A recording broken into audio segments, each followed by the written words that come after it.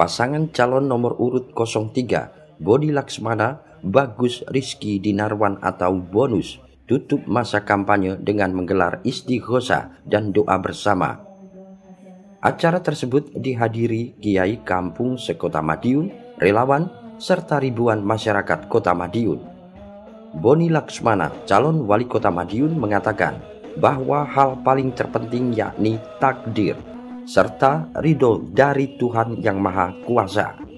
Sehingga pada hari terakhir masa kampanye, pihaknya mengadakan istighosa dan doa bersama. Ini kan hari terakhir kampanye. Jadi bagi kami setelah kami berjuang, setelah kami berikhtiar, setelah kami berupaya, yang paling utama adalah takdir dari Allah, ridho dari Allah. Sehingga bonus menyadari bahwa itu sangat penting sehingga kita gelar acara doa bersama dan istiqosah untuk memohon doa Allah agar kami bonus menang total pada tanggal 27 November 2024 nanti. Harapannya, harapannya dengan harapannya kami mendapatkan kemudahan, kami mendapat kelancaran dan kemenangan menang total atas itu Allah. Uh, Mas Boni, mungkin uh, ada hal yang disampaikan pada masyarakat Mas besok hari tenang.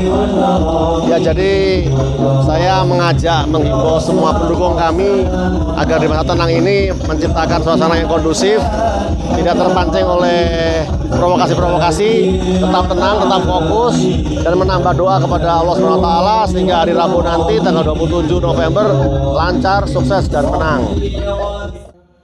Boni menambahkan, pada masa tenang nanti pihaknya menghimbau masyarakat agar tetap menciptakan suasana yang kondusif dan tidak terpancing oleh provokasi.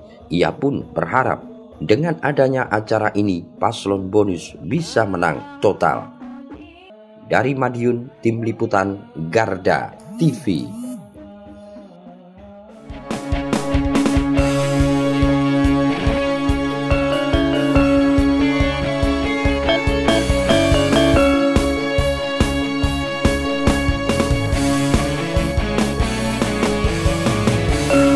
Multi, multi.